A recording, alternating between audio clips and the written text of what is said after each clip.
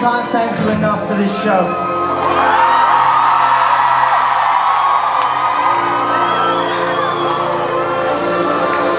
We've wanted to do a show like this here for a very long time, so thank you so much for coming. Thank you.